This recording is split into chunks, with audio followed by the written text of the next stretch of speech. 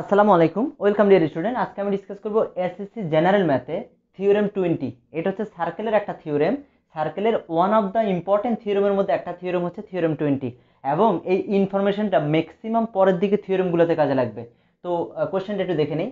The angle subtended by the same arc at the centre is double of the angle subtended by it at any point on the remaining part of the circle কি বলেছে? যে একটা circle দেয়া আছে একটা সার্কেলের মধ্যে একটা যে কোনো একটা আর্ক সিলেক্ট করলাম। আর কাকে বলে? এই যে সার্কামফারেন্স আছে, এই সার্কাম এই চারদিকে যেই, এই যে কভার যে শেপটা বা পেরিমিটারটা এটাকে তো সার্কামফারেন্স বলছে। ধরে নিলাম যে এই এ বিটা হচ্ছে একটা আর্ক ঠিক আছে? এটা হচ্ছে একটা আর্ক এই আর্কের মধ্যে বলেছে এই আর্ক থেকে সেন্টারে যদি একটা অ্যাঙ্গেল ড্র করা হয়, তাহলে এই যে অ্যাঙ্গেলটা হবে, এটা হবে সেন্টার অ্যাঙ্গেল ঠিক আছে? আমি মনে করলাম যে আমি এখানে বিও এ ও বি একটা অ্যাঙ্গেল ক্রিয়েট করলাম। তাহলে এই অ্যাঙ্গেলটার নাম হচ্ছে সেন্টার সেন্ট্রাল অ্যাঙ্গেল বা এটাকে সেন্টার অ্যাঙ্গেলও বলা যায়। সেন্টার অ্যাঙ্গেল বা সেন্ট্রাল অ্যাঙ্গেল তাহলে বলেছে যে আমরা কোনো একটা সেম আর্ক থেকে যদি একটা অ্যাঙ্গেল সাবটেন্ডেড যদি একটা অ্যাঙ্গেল ক্রিয়েট করা হয়, কোথায়? সেম আর্ক থেকে অ্যাট দ্য সেন্টার সেন্টার এই যে ক্রিয়েট করলাম, এটা দেন ডাবল হবে। দ্যাট মিন্স এওবি যে অ্যাঙ্গেলটার কথা বলেছে, এই অ্যাঙ্গেলটা ডাবল হবে কার থেকে ডাবল হবে। বলেছে সেম আর্ক থেকে অন্য একটা জায়গায় at any point on the remaining part of the circle সার্কেলের যে রিমেনিং পার্ট আছে রিমেনিং পার্টের যে কোনো একটা জায়গায় যদি একটা অ্যাঙ্গেল ড্র করি, সেই অ্যাঙ্গেলটা হচ্ছে এই অ্যাঙ্গেলটা ডাবল হবে। তো অন্য কোনো পয়েন্টে আমি যদি ধরে নিলাম যে এটার নাম হচ্ছে এ এম বি এই অ্যাঙ্গেলটাকে আমরা বলব এখন। যে অ্যাঙ্গেলটা হলো এটাকে বলব আমরা inscribed angle inscribed angle or circular অ্যাঙ্গেলও বলা যায়। দ্যাট মিনস এটা সার্কেলের মধ্যে অ্যাঙ্গেলটা এই জন্য এটাকে circular angle or inscribed angle বলা যায়। কিন্তু কোশ্চেনটাতে কি বলেছে? বলেছে সেম আর্ক থেকে। দেখো, এই যে এ এম বি এটাও কিন্তু এ বি এর মধ্যে। এই যে এ থেকে দাগ গিয়েছে এবং এখান থেকে বি থেকে লাইন সেগমেন্টটা গিয়েছে। তার মানে এ এম বি এই অ্যাঙ্গেলটা ইনস্ক্রাইবড অ্যাঙ্গেল ইনস্ক্রাইবড অ্যাঙ্গেল হচ্ছে ডাবল হবে কোনটা বলেছে? সেন্ট্রাল অ্যাঙ্গেলটা এই যে কি বলেছে? The angle subtended by the same arc same আর্কটা আমি এখানে নিলাম হচ্ছে A B at the centre is double সেন্টারে যে অ্যাঙ্গেলটা হবে, সেই অ্যাঙ্গেলটা ডাবল হবে, এই যে এ বি ডাবল হবে। তাহলে ডাবল হবে কাছ থেকে ডাবল হবে? এ এম বি এর তাহলে টু এ এম বি এটাই আমাদেরকে প্রুফ করতে বলেছে। তা আমরা যদি নামগুলোকে চেঞ্জ করে দেই, এটাকে যদি আমি বিসি নেই, তখন নাম কি হবে? তখন আমি এটাকে যদি এ নেই, তখন এই সেন্টার অ্যাঙ্গেলটার নাম কি? তখন সেন্টার অ্যাঙ্গেলটার নাম হচ্ছে বিওসি আর কাচ্ছে ডাবল হবে বিওসিটা এটা হচ্ছে, এটার নাম কি? ইনস্ক্রাইব অ্যাঙ্গেলটার নাম কি?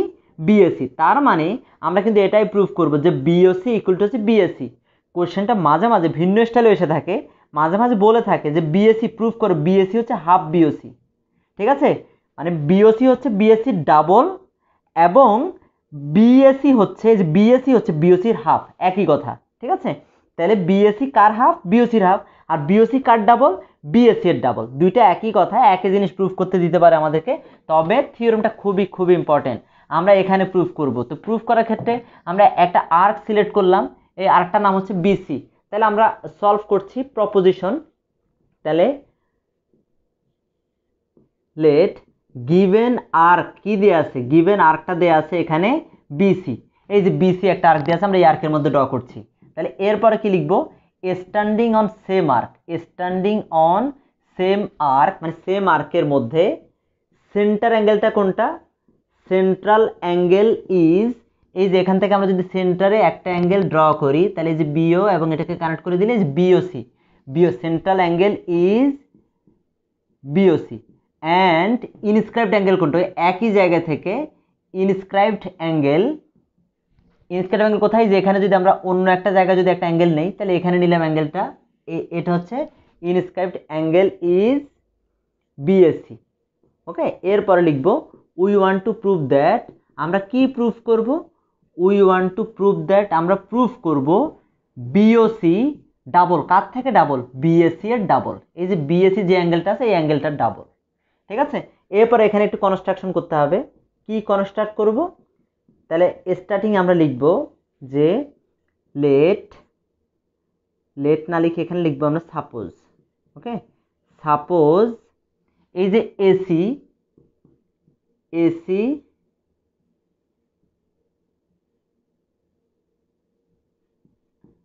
doesn't passes through center, okay? Doesn't passes through center okay এটা এসিটা সেন্টার দিয়ে পাস করেনি। নাও উই ড্র এ রে এবার আমরা একটা রে ড্র করব। উই ড্র এ রে একটা রে নিলাম এখানে। এই যে এই যেটার নাম হচ্ছে রে। এখানে অ্যারো সাইন থাকার কারণে এটার নাম হচ্ছে রে। উই ড রে, এটার নাম দিলাম হচ্ছে D eddy we draw a ray AD which passes through centre okay যেটা সেন্টার দিয়ে পাস করেছে। তাহলে আমরা এটা ড্র করলাম হচ্ছে কনস্ট্রাকশনটা করলাম হচ্ছে কনস্ট্রাকশন পয়েন্টে এডিটা ড্র করলাম কনস্ট্রাকশন পয়েন্টে এরপরে আমরা এখানে প্রুফ করব। তো প্রুফ করার জন্য ওয়ান নাম্বারে ইন ট্রাইঙ্গেল দেখো এখানে দুইটা ট্রাইঙ্গেল কিন্তু হলো, আগে এই ট্রাইঙ্গেলটা নেই। ইন ট্রাইঙ্গেল এওবি এওবি ট্রাইঙ্গেলটার মধ্যে, তো ট্রাইঙ্গেলের একটা ইম্পর্ট্যান্ট রুলস আমাদেরকে জানা থাকতে হবে, যে কোনো একটা ট্রাইঙ্গেলের মধ্যে কোনো একটা সাইডকে যদি এক্সটেন্ড করা হয়, যেই অ্যাঙ্গেলটা ক্রিয়েট হয়, এটাকে বলা হয় এক্সটেরিয়র অ্যাঙ্গেল এই এক্সটেরিয়র অ্যাঙ্গেলটা এর ইন্টেরিয়র এই ভিতরের অ্যাঙ্গেলগুলোকে বলে interior angle interior opposite to অ্যাঙ্গেলের equal এই এক্সটেরিয়র অ্যাঙ্গেলটা এই পাশে যেটা আছে, এটা না, এটা বাদ। অপোজিট টু অ্যাঙ্গেলের ইকুয়াল হবে, ঠিক আছে? আবারও বলছি, কোনো একটা ট্রাইঙ্গেলের কোনো একটা ট্রাইঙ্গেলের একটা অ্যাঙ্গেলকে এক্সটেন্ড করলে, যে অ্যাঙ্গেলটা হয় তাকে বলা হয় এক্সটেরিয়র অ্যাঙ্গেল এক্সটেরিয়র অ্যাঙ্গেলটা ভিতরের অপোজিট দুইটা অ্যাঙ্গেলের সামের ইকুয়াল এ পাশে যেটা আছে এটা না, পাশে যেটা থাকবে সেটা ছাড়া অন্য দুইটা অ্যাড করলে এক্সটেরিয়রটার ইকুয়াল হবে। এটা ট্রায়াঙ্গেলের খুবই ইম্পর্টেন্ট একটা ইনফরমেশন রুলস মাথায় রাখতে হবে। এই যে আমরা এ এক্সটেরিয়র এটা নিলাম এক্সটেরিয়র বা এক্সটার্নাল অ্যাঙ্গেল কোনটা, এটার নাম কি?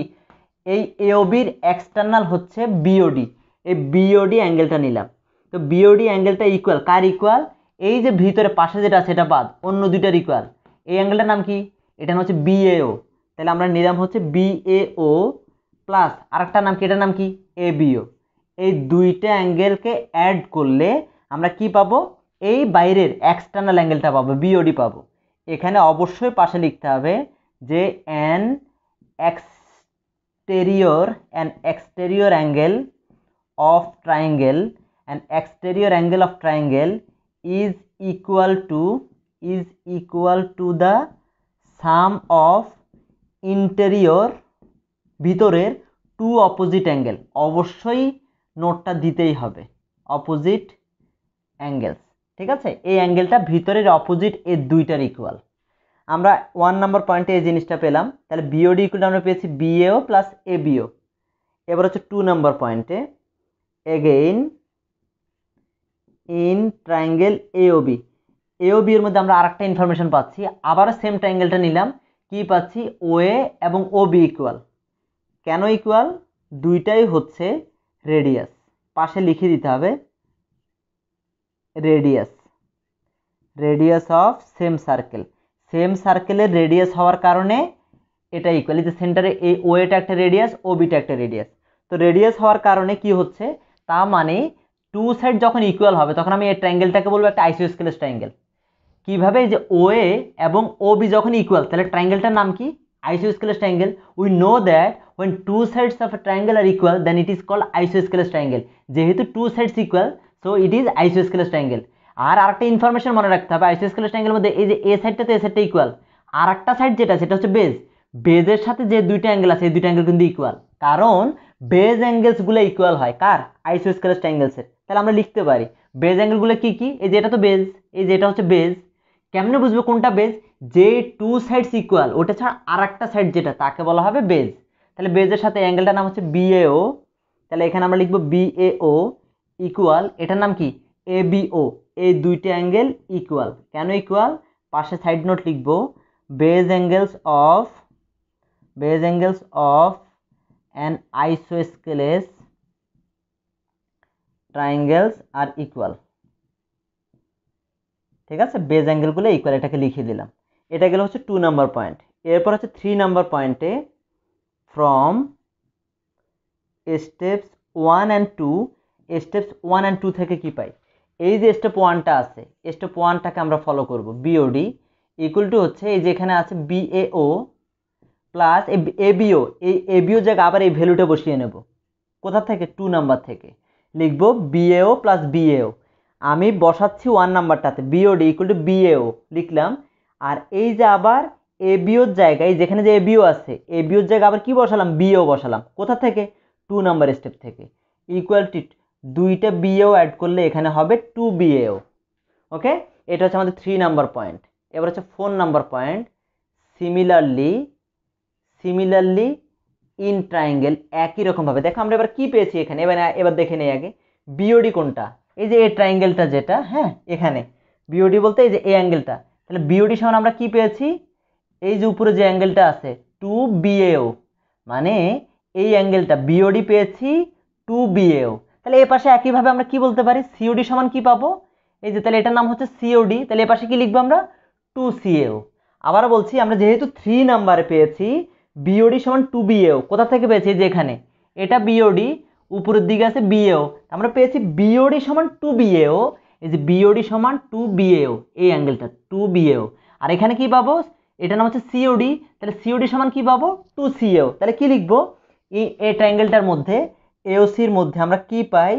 যে সিওডি সিওডি ইকুয়াল হচ্ছে টু সিএও এটা কিন্তু আমরা কোথা থেকে পেতে পারি? এই যে এওসি যে ট্রায়াঙ্গেলটা আছে, এটার থেকে। ঠিক আছে?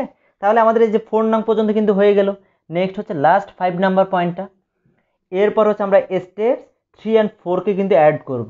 এবার লিখব adding adding steps three and four steps three and four step three and ফোরকে অ্যাড করব। কি আছে এখানে? বিওডি অ্যান্ড সিওডি লিখব এখানে বিওডি প্লাস হচ্ছে এখানে সিওডি আর এখানে কি থাকে? টু বিও টু সিএও এখানে থাকবে টু বিএও প্লাস থাকবে হচ্ছে টু সিএও তাহলে কি থাকবে?